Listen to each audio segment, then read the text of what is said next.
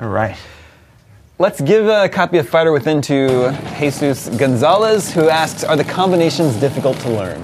The combinations are actually the easiest part about it, um, and the best part, in my opinion, because it um, it doesn't track like it's not it's not judging how hard you're hitting, but it definitely is taking your speed of how of, of your punches into account. So if you want to really throw a flurry of punches fast, you can totally do it. And this is like This is their engine, right? Yeah, powered by beer. I was gonna say this in all the Twisted Pixel games. This is what you just saw is, in my opinion, and this is not to like knock the game or Twisted Pixel, but that is the best part of this game is the live action. That's is- not- not just not just that intro, but Not these but the live action pieces. They are so unhinged and crazy and silly, and that's the part like that's I think my favorite thing about it is that Uh, it's got this imagination to it. Let's see. We're gonna use mine because Yeah, go for it. because it's got all this stuff unlocked.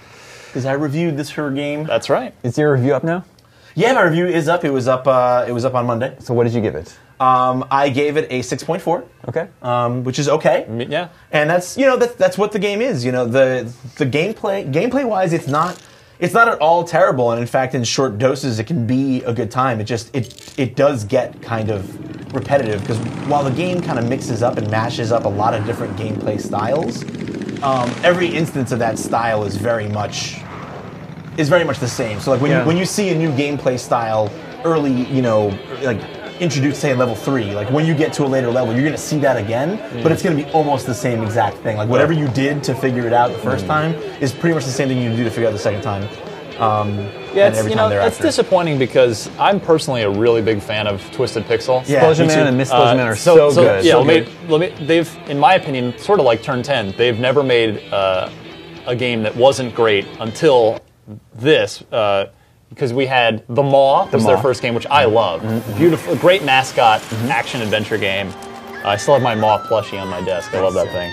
And then, yeah, you had 'Splosion Man, Ms. 'Splosion Man, Comic Jumper, and arguably, uh, Gunstringer. yeah, I was just going to say, Gunstringer, arguably right. the best Kinect-driven game game as opposed to like dance or exercise or dance central kind of game yeah the gunstringer which was fantastic and also full of humor so it's you know i have the fact that you know twisted pixel is now five for six yeah. uh, you know Sure. I, I will be very much anticipating their next project yeah. Yeah, and this is. Uh, see, I love. I love this. This is a good example of what I'm talking about with the with the variety. So this is like a rail shooter section. You don't have too many of these in the game, but they are there, and you can see very very cheesily they've kind of put like overlaid, you know, overlaid like stock footage video in the background to kind of mirror that like B movie Yeah. kind of feel.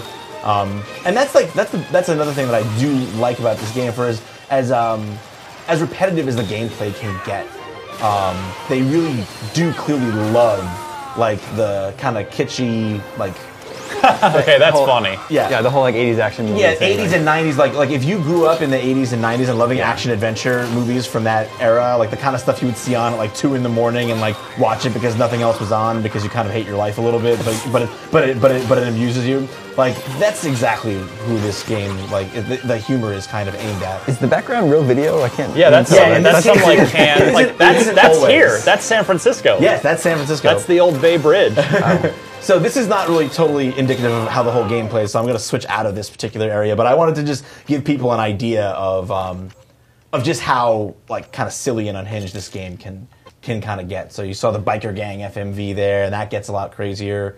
Um, grilled cheese sandwiches abound. Uh, there's a there's like there's a there's a scene where they're all eating massive grilled cheese sandwiches like the size of your head, making and they're me and they're getting uh, me yeah. too actually They're like, yeah, grilled cheese sandwiches, and they're really excited about it. And it's like, why are you so excited about grilled cheese Yeah, sandwiches? sign in as you again.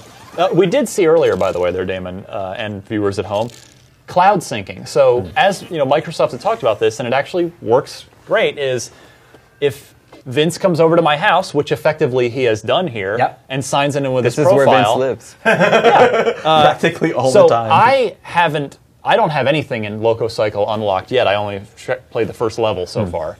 But Vince came over. We signed in as his profile, and then you saw it say syncing data in Hmm. the cloud, and it automatically had all of his saves ready to go. yeah, and we didn't even do that beforehand. Like I didn't. I don't- think we, Nope. we at any point said, okay, let's sync this so that it's ready No, for the live stream. It just happened. just happened. Yeah. So that's pretty cool. Yeah, it is. It is pretty neat. And again, this is load times. We were just talking about this before. Mm-hmm. So- pretty common thing. Yeah, tw- uh, twenty dollars for this one, digital download. Mm-hmm. Also worth mentioning, This was another one that was originally announced as an Xbox 360, Xbox Live Arcade game. Yes. Yeah. Except here, unlike Crimson Dragon, this is actually still coming to Xbox 360, Yeah. but they haven't announced when. Exactly. Right. But it is still still happening, or still scheduled to happen. And I think much like Crimson Dragon, the next generation hasn't done uh, hasn't done much for for, for this game. Not. Uh, it's not like a showcase for the Xbox. No, One. not not not at all, not in any shape. You know, which is why it's good that it's still coming to the 360 because this is not a game that at all needs to be on the Xbox. Uh, S- similar on to Xbox Crimson One. Dragon, the right. 1080p and 60 frames is about the only benefit you're getting here Right. from So the Xbox. here's an example of one like one of the different mini gameplay types. So this is just a basic. You know, they're putting obstacles in your path. If you hit the, the obstacles, it's going to do damage to you. You want to avoid the obstacles. Um, you know, it's pretty basic. But now that you've seen this, like when this happens later in the game, and it will, it's going to be the same. The like, same it- it's going to be the same thing almost. Like you're going to see all the same patterns come up. It's not really going to get any more difficult. Um, and that's kind of why that's kind of why I gave the game what what I gave it. No, there's nothing there's nothing broken or mechanically borked about it. Like the combat and everything works, uh, and and the controls when you're driving feel pretty good, uh, if if a bit inconsistent. But um, and the counters are all really cool. They have these awesome camera cuts that make everything again that action movie feel Yeah. is really strong. Um, it's just a matter of the monotony that, that sets in once you realize that you're doing the same thing in the 15th level as you are first. Vince, obviously, you're you gave this a 6.4. Yes. But you know, we, would you say that it's worth progressing all the way through just to see the goofy live action cutscenes? in my, in my opinion, like it is. Like again, it's one of those things where, and people at home don't always think about this. They think, oh, i- again, they think about the the test grading, you know, style, and oh, if it's a six point four, it's a terrible game. There's no reason anyone would want to play this. That's not the case at all. You know, Yeah. we're we're you know we're assessing a game's overall value and you know what it is as Well- objectively as we can. You know, to the best of our abilities, but it, that doesn't mean that a six has nothing good going for it. Like, personally, yeah. I, I did enjoy my time with LocoCycle. I don't think it's a good game. It's got um, enough problems that I feel like it's not quite there, but it's memorable. Uh, the story is funny and silly in a, in a very 90s action movie kind of way, and I grew up with those kinds of films. So, you know, I found myself wanting to, still wanting to throw throw in the game for a minute or two just to see some of the cutscenes and play, Right. you know, a level at a time maybe, and then walk away from it. Yeah, um, and it's- it's totally serviceable in that way. a great example, uh, Beyond Two Souls, Uh-huh. which we just reviewed. I- you Sure. know, we gave uh, IGN gave that game a six, a six or six point something as well, and which I completely agree with. But also, and, and Mitch and some other people in the office feel the same way. I think I would absolutely recommend that anyone Sure. play Beyond Two Souls because it's such a it's such a fascinating thing, even though it's not that great of a game. Mm-hmm. Yeah, and if you like, look, if you grew up in arcades, that's the other thing. Like we remember, we had that term Xbox Live Arcade. That's like kind of what Microsoft brands everything for a while. That's downloadable. Not anymore. Not Yeah, right. they- they which did for not a long anymore, time. Rest in peace, time. Xbox Live Arcade. Sure, and for a long time they did. And what was funny about that is that very few of those games felt like something I would have played at an arcade when I was Yeah. growing up. This feels very much like something I would have I would have popped a quarter into. It has that kind of over the top style, um, the grading system. The mechanics are simple. There's not a lot of complicated stuff that you have to do, but it's all very much just reaction based and skill based and learning based. You know, you figure out how you're supposed to beat this, and then once you know it, it's just up to your muscle memory to execute it again and again. Um, so again, for like a long extended playtime, it can get kind of tedious. But you know, I think a lot of old great arcade games probably would have gotten tedious if you were able to sit there and play them for six hours straight Sure, of instead of for two minutes or five minutes at a time. And By this the way, is a great example uh, of. Speaking of great live arcade games, Dana, I know you're a big Xbox Live Arcade guy. What the hell? We never got. Where did Super Time Force go? I still want to play that. Still game. coming. What's Still up? coming. Like, yeah, Anyway, those guys are taking their time. a little bit of an aside. I love, I love, I love Cappy. I love Yeah. Cappy.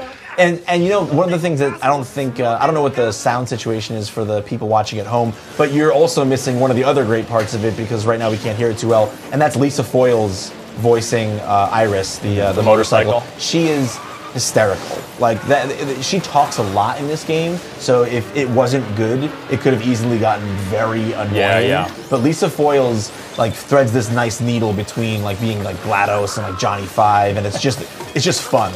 And um, even though some of the stuff with Pablo is a little a little questionable, like everything everything involving her and just her lines is just a lot of good movie references and a lot of fun quotes. Makes it a good time. Well, we do have a copy of LocoCycle to give away, so one lucky viewer can check it out for themselves. Excellent. Let's give it to Cooler Nerds. who says LocoCycle is easily the most intriguing launch title in my eyes. Would you liken the quirkiness of Amped 3 for Xbox 360? I can see that comparison uh, a little bit, yeah, but I think once you start playing it, you'll realize that the quirkiness here is very much its own thing, and it's hard to tell that from what we've seen here. But you'll be five minutes into the first cutscene, like the live action cutscene, and you'll be like, "This is a different level of weird and a different kind of weird than you've ever really seen." And I think for that reason alone, it's worth it's worth It, it sounds, uh, Damon. It sounds like that copy of LocoCycle is going to find itself a good home. Yeah, he Yeah. wants to check it out, so that's good. We're, next up, we're going to switch over to NBA 2K.